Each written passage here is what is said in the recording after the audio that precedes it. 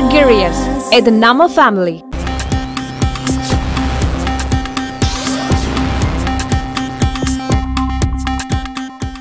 அதிமுகவுடன் புதிய தமிழகம் கட்சி கூட்டணி பேச்சுவார்த்தை நடத்தி வரும் நிலையில் கிருஷ்ணசாமியின் கணக்கு என்ன என்பது பற்றி பத்திரிகையாளர் பிரியனுடன் கலந்துரையாடுகிறார் நமது செய்தியாளர் தமிழினியன். நன்றி ராதா. ஆஹ் நம்மோடு பிரியன் அவர்களும் இணைந்திருக்கிறார். திரு பிரியன் வணக்கம். முதல் வாய்ப்புக்கு நேரடியாக நகர்ந்துடலாம்னு நினைக்கிறேன். தென்காசி தொகுதியில் போட்டியிட உண்மையிலேயே டாக்டர் கிருஷ்ணசுவாமியோட கணக்கு என்னவாக இருக்கும்? அதிமுகவுடன் கூட்டணி சேருவதற்கான கணக்கு அவர் போட்டியிடுவது மட்டும்தான் கணக்காக இருக்குமா? இல்லை ஒரு நீண்ட கால ஒரு ஏதாவது ஒரு திட்டமிடல் இருக்குமா? ஏன்னா ஏற்கனவே ஒரு பாஜகவுடன் சேர்வது நல்லது அதிமுக சேர்வது நல்லதுன்னு பேசிகிட்டு இருந்தவர். இப்போ அதிமுக பக்கம் நகர்ந்திருக்கிறாருன்னா அதுக்கு காரணம் என்னவா இல்லை நீங்கள் கேட்குற மாதிரி தென்காசி தொகுதியில் வந்து அவர் நைன்டி எயிட்லேருந்து தொடர்ந்து பார்லிமெண்ட்டுக்கு போட்டி போட்டுருக்கார் அன்ஃபார்ச்சுனேட்லி அவர் வின் பண்ணலை இந்த பார்லிமெண்ட் எலெக்ஷனில் பக்கத்தில் இருக்கிற தூத்துக்குடியில் ஒட்டப்பட்ட காலத்தில் சட்டமன்ற தொகுதியில் தொண்ணூத்தாறுலேயும் ரெண்டாயிரத்தி பதினொன்று வின் பண்ணார். பட் அவருடைய பாயிண்ட் என்னென்னா வந்து பாஜக கூட்டணி அல்லது அதிமுக கூட்டணி ஏன் அதிமுக கூட்டணி நோக்கி போகிறாருன்னா இருபத்தாறு மனசில் வச்சு போகிறாரான்னு நீங்கள் ஒரு கேள்வி கேட்குறீங்க பட் அடிப்படையில் பார்க்கும்போது இந்த மாதிரி சின்ன சின்ன கட்சிகள் வந்து சில சமயம் தனியாக போகிறதுக்கான வாய்ப்புகள் உண்டு. இப்போ இருபத்தொன்று லட்சம் அவர் தனியாக தான் போனார் அவர். யாரையும் நம்பலை. அதே சமயம் பார்த்தீங்கன்னா வந்து ரெண்டாயிரத்தி பதினொன்றில் ஏடிஎம்கேயோட இருந்தார். ரெண்டாயிரத்தி பதினாலு பதினாறில் டிஎம்கேயோட இருந்தார். பத்தொம்போதுக்கு அப்புறம் ஏடிஎம்கே பாஜக கூட்டணியில் இருந்தார் இருபத்தொன்னில் தனியாக போனார். ஸோ இருபத்தாறில் வந்து என்ன மாதிரி நிலைப்பாடு அப்போ இருக்கிற சூழல் என்ன இருக்குன்னு சொல்ல முடியாது. அதனால் ஒரு அதிமுக இப்போ கூட்டணி சேர்றதுன்னு இருபத்தாறு மனசில் வச்சு சேரானா அதை உறுதியாக நம்ம சொல்ல முடியாது. அதற்கான பாசிபிலிட்டி இப்போ நம்ம டிஃபைன் பண்ண முடியாது அது ஆக்சுவலாக அவர் தென்காசியில் வந்து போட்டி போடுறதுக்கு விருப்பப்படுவார் அல்லது அதன் மூலமாக தேர்ந்தெடுக்கப்படுறதுக்கு விருப்பப்படுவார். ஏன்னா அவங்களுக்கு ஒரு சில முக்கியமான கோரிக்கைகள்லாம் இருக்குது அது பாஜக கவர்மெண்ட் மூலமாக நிறைவேறும். அவன் நிறைவேற நிறைவேறல. நிறைவேறல இதுவரையும் நிறைவேறல. ஸோ பார்லிமெண்ட்டில் நம்ம குரலை எடுத்து வைக்கணும் அப்படின்ற ஒரு பாயிண்ட்டில் ரெண்டாவது வந்து ரெண்டாயிரத்தி பத்தொம்போது இதுவரையும் நைன்டி எயிட்லேருந்து ஒரு பார்லிமெண்ட்டில் போட்டி போட்டால் கூட தென்காசியில் நைன்டீனில் தான் பார்த்தீங்கன்னா அவர் அதிகபட்சமான ஓட்டு வாங்கினார் ஏடிஎம்கே கூட்டணியில். Three point five five lakhs வாங்கினார்.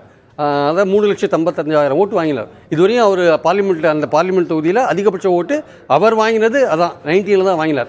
ஸோ ஏடிஎம்கேயோடு இருந்தால் நமக்கு ஒரு அட்வான்டேஜ் இருக்குது ஏன்னா அவருடைய கணிசமான ஒரு தேவேந்திர குல வேளாளர்கள் கணிசமாக ஒரு பதினாறு லட்சம் வாக்காளர்கள் இருக்கிறதுல ஒரு மூணு லட்சம் மூன்று லட்சம் பேர் தேவேந்திர குல வேளாளர் இருக்காங்க.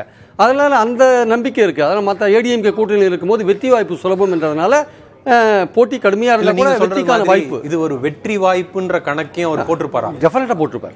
ஏன்னா பலரும் சொல்லும் பொழுது திமுக வந்து ஸ்வீப் பண்ணும் அப்படின்னு சொல்லும் பொழுது இங்க வந்து தங்களுடைய இடத்தை உறுதிப்படுத்திக்கிறதுக்கு அவங்க வந்து ரிலவெண்டா இருக்கிறதுக்கு அப்படின்னு சொல்லப்பட்ட சூழ்நிலைகள்ல இருந்து இது ஒரு வெற்றி வாய்ப்பு கணக்கு போடக்கூடிய அளவுக்கு நகர்ந்திருக்குது இப்போ நிலைமை. டெஃபினட்டாக வந்து வெற்றிக்கு கடும் போட்டியை கொடுக்கறதுக்கான வாய்ப்பு இருக்குது ஒரு மார்ஜினலாக வந்து அவர் ஒரு- ஒரு போட்டி போடுற வேட்பாளர் இதில் இந்த வாட்டி வெற்றி பெற முடியும்னு ஒரு நம்பிக்கையோடு தானே போட்டி போடுறாரு. ஸோ அந்த கிருஷ்ணசுவாமி அந்த தொகுதியை நன்கு அறிந்தவர் ஆக்சுவலாக அதனால் அவர் இந்த தடவை வந்து அந்த பொசிஷன்லாம் பார்த்துட்டு சரி நமக்கான வாய்ப்புகள் ஏடிஎம்கே கூட்டணியில் போனால் கிடைக்கும்னு போட்டி போடுறார். கடுமையான ஒரு போட்டி இருக்கலாம்.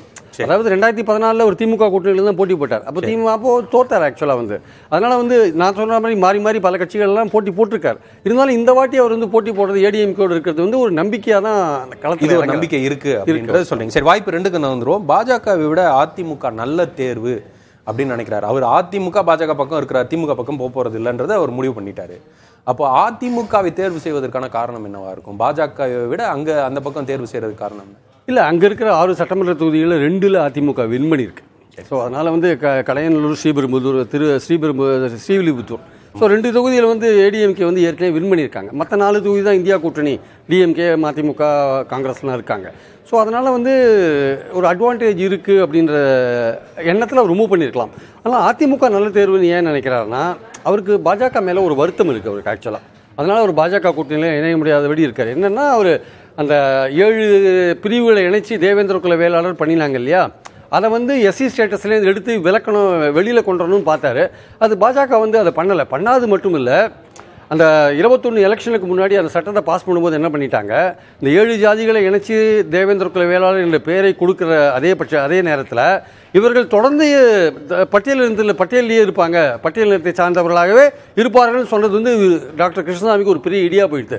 அவங்க அதுலேருந்து வெளியில் வரணும்னு பார்த்தவங்களுக்கு பார்லிமெண்ட்டில் வைக்கிற தீர்வு அந்த ரெசல்யூஷனில் இந்த மாதிரியான ஒரு வார்த்தை இருந்து அது இப்போ நிறைவேறி இருக்கு. இப்போ அதுலேருந்து மீண்டு வர்றது வந்து ரொம்ப கஷ்டமான காரியம். ஒரு பல தடவை வந்து பாஜக தலைமையிட்ட பல்வேறு முறைகளில் முறையிட்டாரு அந்த பாஜகவில் எதிர்பார்த்த ரெஸ்பான்ஸ் இல்லாதனால தான் அந்த வருத்தத்தில் தான் இப்போ வந்து ஒரு அதிமுக பிரிஞ்சு இருக்கிறதுனால அந்த கூட்டணிக்கு போறாரு. அவரோட நம்பிக்கை என்னன்னா அதிமுக மீண்டும் பாஜகவுக்கு போகாது அப்படின்ற நம்பிக்கையில தான் இப்போ அதிமுக போறாரு. நீங்க கூட்டணிக்கு முக்கியமான பாயிண்ட் இப்ப அதிமுக பாஜகவிடம் போகாது.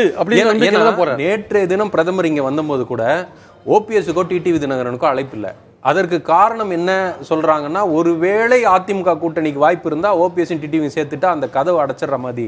அதனால இன்னும் அந்த கதவு திறந்தே இருக்கு அப்படின்ற ஒரு நிலைமை இருக்கும் பொழுது ஆனா கிருஷ்ணசாமி முடிவு பண்ணிட்டார் அந்த கூட்டணி இல்லைன்னு முடிவு பண்ணல அதான் அந்த நம்பிக்கையில தான் அதிமுக ஏன்னா பாஜக மேல இருக்க வருத்தத்தில் தான் அவர் அதிமுகவுக்கு போறாரு ஆக்சுவலா அதனால தீ மீண்டும் அந்த அதிமுக பாஜகவுக்கு வந்ததுன்னா அப்போ இவருடைய பொசிஷன் என்னவா இருக்குன்னு எனக்கு தெரியும் ஏன்னா அரசியலில் வந்து நீங்கள் நாளைக்கு என்ன நடக்கும்னு தெரியும் பாஜக வந்து அந்த கேள்விக்கான பதிலை பாஜக இன்னும் சொல்லவே இல்லை.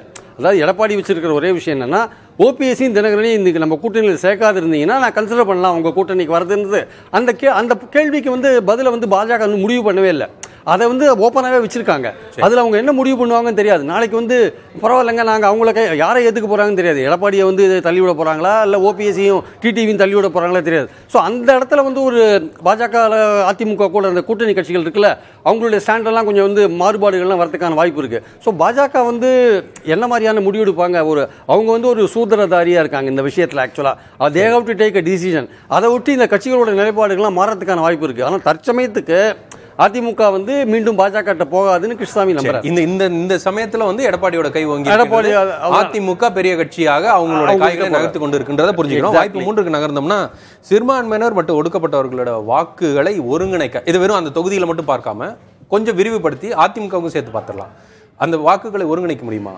பட்டியல் சமுதாயம் இல்ல சிறுபான்மையினர் வாக்குகளை அதிமுக பக்கமும் இந்த பக்கம் கொண்டு வரதுக்கான வாய்ப்பு இருக்கா? இப்போ உதாரணமாக பார்த்தீங்கன்னா இப்போ மூணு லட்சத்து ஐம்பத்தஞ்சாயிரம் ஓட்டு வாங்கினார் இல்லையா இவர் கிருஷ்ணசாமி ரெண்டாயிரத்தி பத்தொம்போது எலெக்ஷனில் அப்போ அவருக்கு வந்து இந்த தேவேந்தர் குல வேளாளர்களில் ஒரு எழுபதாயிரம் எண்பதாயிரம் பேர் கிறிஸ்டியன்ஸாக இருக்காங்க. அவங்க ஓட்டு அவருக்கு கிடைக்கவே இல்லை. கிடைச்சிருந்தா அவர் வின் பண்ணுறதுக்கான வாய்ப்புகள் இருந்திருக்கும் அது கிடைக்கவே இல்லை. ஸோ அதனால் அவங்க என்ன நினைக்கிறாங்க அதிமுக பாஜக விட்டு பிரிஞ்சு வந்திருக்கிறதுனால அஹ், கடையனூரில் இப்போ சிறுபான்மையோர் நிறைய பேர் இருக்காங்க. அதே மாதிரி தென்காசியில் சிறுபான்மையோர் நிறைய பேர் இருக்காங்க.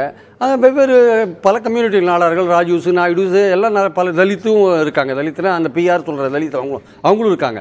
இந்த தொகுதியில் மட்டும் இல்லாமல் ராமநாதபுரம் பக்கத்தில் இருக்கிற தூத்துக்குடி அப்புறம் விருதுநகர் இதிலெல்லாம் கூட புதிய தமிழகத்தோட இன்ஃப்ளூயன்ஸ் கொஞ்சம் இருக்குது அதே சமயம் அதிமுகவுக்கு அந்த ஏரியாவில் அது இன்னொரு கம்யூனிட்டியான முக்குலத்தோர ஓட்டு கிடைக்குமா கிடைக்காதா? ஏன்னா மத்த தினகரனும் ஓபிஎஸும் எதிர்க்க இருக்கிறதுனால அவங்க பாஜக கூட்டணியில் இருக்காங்களோ இல்லையோ அவங்க தனியாகவே நின்னா கூட அந்த கம்யூனிட்டியோட ஓட்டை வாங்குவாங்க. ஏன்னா போன நைன்டீன் எலெக்ஷன்லையும் சரி டுவெண்ட்டி ஒன் எலெக்ஷன்லையும் சரி தினகரன் வந்து அந்த ஏரியாக்களில் நிறைய ஓட்டு வாங்கியிருக்காரு. ஸோ அந்த கம்யூனிட்டி வாங்க வாங்கியிருக்கு. அந்த கம்யூனிட்டி அவருக்கு ஓட்டு போட்டிருக்கு. அதனால் அந்த கம்யூனிட்டி ஓட்டை நம்ம எழுந்துருவோமோன்ட்டு நினச்சிட்டு இருக்கிற அதிமுகவுக்கு புதிய தமிழகம் வந்து சேர்ந்துருக்கிறது வந்து ஒரு ரிலீஃப் ஆக்சுவலாக இல்ல அவர் ஒரு ஒருவேளை நீங்க சொன்னீங்க அந்த கடையநல்லூர்ல எல்லாம் சிறுபான்மையினர் வாக்குகள் இருக்கு. அந்த வாக்கு- வாக்குகளை எல்லாம் கூட ஓரளவுக்கு எடுக்க இல்ல முடியும். அது அது வந்து தென்காசி தொகுதியை பொறுத்த மட்டும் டாக்டர் கிருஷ்ணசாமி வேணா நம்பி போடுவாங்களே தவிர அதிமுகவை சிறுபான்மையோர் முழுமையா நம்பிட்டாங்களான்னா அது வந்து அதிமுக எடுக்கிற பொசிஷனை பொறுத்து இருக்கு நீங்க ஆன்டி பிஜேபியை இல்ல ஆன்டி மோடியை நீங்க எந்த அளவுக்கு நீங்க எக்ஸ்ட்ரீமா எடுக்கிறீங்களோ அந்த அளவுக்கு உங்களை சிறுபான்மையோர் நம்புவாங்க. களத்- களத்துல ஒரு ஆறு மாசத்துக்கு முன்னால வரைக்கும் கூட களத்தில் ஒரு ப்ரோ பிஜேபி மைண்ட் செட் அண்ணாமலையை பாராட்டுவது அப்படின்னு அதிமுக தொண்டர்கள் இருந்த சூழ்நிலை இப்போ மாறி இப்போ கடுமையாக பாஜக விமர்சனம் பண்ணுறது அதுவும் குறிப்பாக அண்ணாமலை விமர்சனம் பண்ணுறதுன்ற நிலைமை மாறி இருக்கிற மாதிரி தெரியுது. அந்த அந்த பெர்செப்ஷன் படி பார்த்தா ஒருவேளை அதிமுகவை மக்கள் நம்ப தொடங்குவாங்க. சிறுபான்மையினர் பெரிய அளவில் ஒரு பகுதி வந்து மாறுவதற்கான வாய்ப்பு இருக்கு அப்படின்னு எடுத்துக்கலாமா? இல்ல அது தென்காசி பார்லிமெண்ட்லேயே ஒரு ஏழு பர்சன்ட் சிறுபான்மையோர் இருக்காங்க. அது ஒரு முக்கியமான வாக்கு வங்கி. ஸோ அந்த வாக்கு வங்கியை வந்து நம்ப தகுந்த அளவுக்கு எடப்பாடியார் நடந்துட்டாருன்னா நம்ப தகுந்த அளவுக்குன்னா நீங்க மோடியை மோடி மீண்டும் ஆட்சிக்கு வரக்கூடாது. ரெண்டாயிரத்தி இருபத்தி நாலில் மோடி மீண்டும் ஆட்சிக்கு வரக்கூடாது அப்படின்ற ஸ்டாண்டை வந்து எடப்பாடி எடுத்தாருன்னா சிறுபான்மையோர் நம்பி ஓட்டு போடுவாங்க. அந்த ஸ்டாண்ட் எடுக்கல வச்சுக்கோங்க. வெறும் தமிழ்நாடு கவர்மெண்ட்டை மட்டும் அட்டாக் பண்ணுற மாதிரியான விஷயங்கள் எடுத்தா வச்சுக்கோங்க.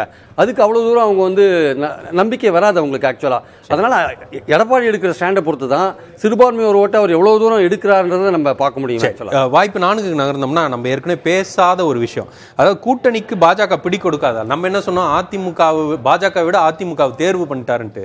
அப்படி இல்லை ஒருவேளை பாஜக அவரை தேர்வு பண்ணல அவரை ஏத்துக்கல. இந்த தொகுதி தென்காசி கொடுக்க மா- கொடுப்பேன்னு சொல்லி அவங்க ஏற்றுக்கல அந்த மாதிரியான விஷயங்கள்லாம் இருக்குமா ஒருவேளை? இல்லை இல்லை இல்லை பாஜக ஏற்றுக்காதனால அவர் போகலை ஆக்சுவலாக வந்து. இன்ஃபேக்ட் வந்து அவர் போகிறதுக்கான காரணம் வந்து இவருடைய கோரிக்கையை அவங்க ஏற்றுக்காத இருக்கிறதுனால தான். அதாவது இவர் இவருக்கு வந்து ஒரு சரியான ரெஸ்பான்ஸ் இல்லை. இருபத்தொன்று எலெக்ஷன்ஸுக்கு அப்புறம் அவங்க இருபத்தொன்று எலெக்ஷன் அசம்பிளி எலெக்ஷன்ஸ்க்கு அப்புறம் அவர் தனியாக தான் போட்டி போட்டார். அதுக்கப்புறம் பல தடவை வந்து பாஜகவுக்கு ஆதரவான நிலைப்பாடு தான் டாக்டர் கிருஷ்ணசாமி எடுத்திருக்கார். ஆனால் இவர் வந்து பல தடவை இந்த கோரிக்கைக்காக அணுகின போது ச- மத்திய பாஜக அணுகின போதும் சரி மாநில பாஜக அண்ணாமலை உட்பட அணுகின போதும் சரி டாக்டர் கிருஷ்ணசாமி அவர்களுக்கு சரியான ரெஸ்பான்ஸ் கிடைக்கலன்றதான் அந்த கட்சிக்காரர்கள் பொதுவாக சொல்கிற ஒரு விஷயமா நான் பார்க்குறேன். ஸோ அதனால் இவருக்கு என்னென்னா நம்மளுடைய ஒரு முக்கியமான கோரிக்கையை வந்து இவங்க வந்து நிறைவேற்ற மாட்டேன்றாங்க இல்லை பண்ண மாட்டேன்றாங்க. பண்ண மாட்டேன்றாங்க மட்டும் இல்லை அதில் அந்த பார்லிமெண்ட்டில் அந்த ரெசல்யூஷன் வந்தபோது இவங்க இவங்க வந்து பட்டியல் நிலத்திலேயே கண்டினியூ ஆவாங்கன்னு போட்டாங்க பார்த்தீங்களா அது இவங்களுக்கு ரொம்ப ஒரு காயப்படுத்தின ஒரு விஷயமா மாறிடுது ஆக்சுவலாக அதனால் பாஜக வந்து பாஜகவை டாக்டரே ப்ரிஃபர் பண்ணல. ரொம்ப ஆதரவாளராக இருந்து கோரிக்கை நிறைவேற்றத்துக்காக தான் அங்கே இருந்தார். பட் அது நடக்கலைன்ற போது அவருக்கு வந்து அதிமுக பிரிஞ்சு வந்தது ஒரு சௌரியமாக போச்சு. ஸோ ஒரு கட்சி இருக்க இருக்கிற ரெண்டாயிரத்தி பத்தொம்போதில் கூட ஒர்க் பண்ணுறதுனால டக்குன்னு அங்கே போய் சேர்ந்துட்டார். சரி வாய்ப்பு ஐந்துக்கு நகர்ந்தோம்னா ரெண்டாயிரத்தி இருபத்தி ஆறு தேர்தலை மனதில் வைத்து ஒருவேளை நீங்க சொல்ற மாதிரி நாடாளுமன்ற தேர்தல் அது ஒரு இவர் இது வரைக்கும் வெற்றி பெற்றதே இல்லை. ஆனா சட்டமன்ற தேர்தலில் வெற்றி பெற்றிருக்கிறாரு. இருபத்தாறுல ஒருவேளை வாய்ப்பு கண்டிப்பா வெற்றிக்கான வாய்ப்பு இருக்கும். நம்ம இந்த தொகுதியை கன்சால்டேட் பண்ணலாம்.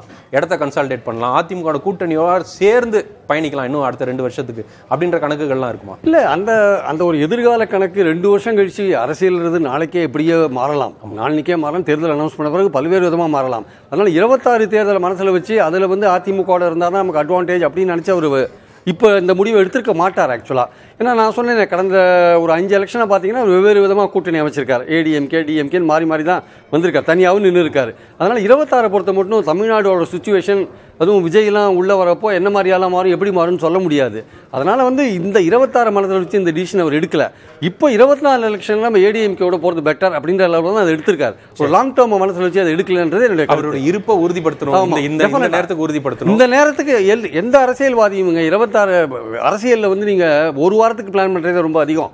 வரப்போற தேர்தல் தான் முக்கியம் அடுத்த வர பிரிட்ஜை கிராஸ் பண்ணணும். அதுக்கு அடுத்த பிரிட்ஜ் அப்புறம் பார்த்துக்கலாம். இந்த பிரிட்ஜ் எப்படி கிராஸ் பண்றதா அ cross பண்ணலன்னா அடுத்த போகவே போகவே முடியாது. அதனால இந்த இருபத்தி நாலு பிரிட்ஜை கிராஸ் பண்ணணுன்றதுல அந்த அடிப்படையில் பார்க்கும்போது சரி இந்த தேர்தலில் நம்ம தென்காசியில வெற்றி வாய்ப்பு இருந்தா அதை ட்ரை பண்ணி பார்க்கலாமேன்னு ஒரு எண்ணம் இருக்கு இல்லையா? அதுக்கு தான் இங்க வந்திருக்கு சரி நிறைவா ஒரு கூட்டணி அமைப்பதற்கான வாய்ப்பு சாத்தியம் வலுவான கூட்டணி அதிமுக தலைமையில அமைப்பதற்கான வாய்ப்பும் சாத்தியமும் உருவாகுமா? இதை இதை தொடர்ந்து ஏன்னா பாமகவோட பேசிக்கிட்டு இருக்கிறாங்களான்றது அதிகாரப்பூர்வமா அவங்க சொல்லல. இன்னும் பல்வேறு கட்சிகளோட பேச்சுவார்த்தை அதிகாரப்பூர்வமா இல்ல. இது வந்து ஒரு கூட்டணியாக மாறும்னு நினைக்கிறீங்களா? மாறாத? சுருக்கமா ஒரே வரியில இல்லை ஒரே வரியில் சொல்கிறதுல இந்த நான் கிருஷ்ணாமி விட்டுருங்க அதை பற்றி நிறைய பேசிட்டோம். பாமக தேமுதிக இந்த இரண்டு கட்சிகளோடையும் பாஜகவும் பேசிட்டு இருக்காங்க. பாஜக மேலிடம் பேசிட்டு இருக்கு. அதனால தான் அந்த கூட்டணி வந்து அதிமுக ஃபைனலைஸ் ஆகாத இருக்கு ஸோ அவர்கள் எதிர்பார்க்கிற சில விஷயங்கள் எந்த கட்சி கொடுக்குறதோ அந்த கட்சி கூட அவங்க சேருவாங்க. அதனால இது இன்னும் கொஞ்சம் ரெண்டு மூணு நாள் ஆறதுக்கான வாய்ப்புகள் இருக்கு. நாளைக்கு டாக்டர் ராமதாஸ் சென்னைக்கு வராராம். வந்த பிறகு அவர் என்ன முடிவு எடுப்பார்? ஃபைனலாக பேசி என்ன முடிவு எடுப்பார் தெரியாது. இருந்தாலும் ரெண்டு கட்சிகளுமே இந்த ரெண்டு கட்சிகளோட பேசிட்டு இருக்காங்க. ஸோ அது முடிவு என்ன ஆகுன்ற நம்ம ஊகிக்க முடியாது. ஏன்னா இந்த ரெண்டு கட்சிகள் அதிரடி முடிவுகள் எடுக்கிறதுல ரொம்ப கை தேர்ந்தவங்க. அதனால நம்ம சொல்ல முடியாது. பல அதிரடிகளும் பல திருப்பங்களையும் பார்க்க போறோம்ன்றது சொல்றீங்க. பல்வேறு விஷயங்களை பகிர்ந்து கொண்டதுக்கு நன்றி திருப்பிரியன்